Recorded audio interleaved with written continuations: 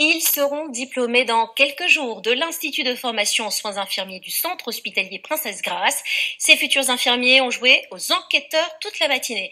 Rendez-vous était donné à la turbie pour un d'eau grandeur nature, un moment de détente, mais aussi très utile pour apprendre à fonctionner en équipe. Michel Bernoin, Loïc Blache.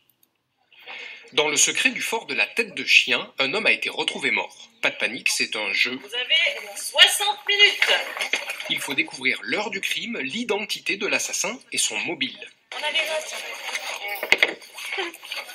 Des gants, et là, quoi Des objets, des indices et plein de cadenas à code qu'il faut déchiffrer, alors direction un tunnel lugubre barré de rubalises. C'est 639.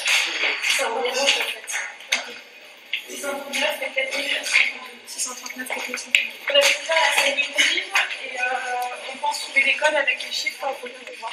Pas si simple, des codes, il y en a plein, et des doutes aussi. Ce qui est intéressant, c'est qu'elles, elles se sont observées depuis le début. Et qu'à moins de leur redonner confiance et de redonner à chaque fois une petite impulsion, elles bloquent. Et si vous leur dites oui, vous êtes tout prêt, ça va, hop, ça se débloque. Effectivement, peu à peu, le brouillard se lève et le mobile du crime se révèle. Hier matin, il était assez inquiet concernant la réunion d'aujourd'hui. Mon cher Pierre, vous allez voir, la jalousie à l'œuvre. Mais au fait, pourquoi demander à des futures infirmières et infirmiers de jouer aux détectives? La technique, ça n'est qu'une infime partie du soin. Et pendant trois années, les étudiants travaillent sur toute, justement, je vous disais, cette connaissance de soi, se connaître pour pouvoir connaître l'autre et pour pouvoir communiquer de manière adaptée avec le patient, puisque chaque patient est bien sûr différent et que le soin doit être individualisé et personnalisé. Et à quelques minutes du gong, tout s'éclaire.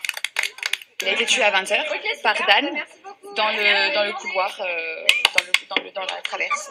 Et pourquoi il a été tué?